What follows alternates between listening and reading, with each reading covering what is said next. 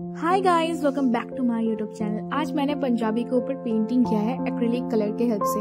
तो ये मेरा फ़र्स्ट टाइम था, इससे पहले मैंने कभी भी किसी कपड़े के ऊपर पेंटिंग नहीं किया ऐसे डायरेक्टली तो मैंने क्या किया था पेंसिल एंड स्केल के हेल्प से पहले मैंने ये बॉक्सेस बना लिए थे। एंड उसके ऊपर मैं ऐसे, उसके अंदर मैं ऐसे डिज़ाइन फिल करती जा रही थी, जो भी मेरे दिमाग में आता जा रहा था। एंड मैंने थोड़ा जो रेफरेंस लिया था इस डिज़ाइन का कि ऐसे कर सकते, ऐसे कर सकते पिंटरेस्ट से लिया हुआ था।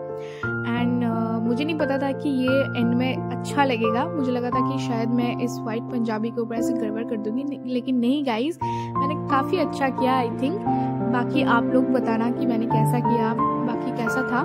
एंड आई होप कि आपको अच्छा लगे ये वीडियो और मेरा प्रोसेस भी अगर आपको सिंपल एंड ईजी लगे तो भी मेरे वीडियो को एक लाइक कर देना। और प्लीज़ प्लीज़ प्लीज़ मेरे यूट्यूब को यूट्यूब चैनल को सब्सक्राइब कर देना।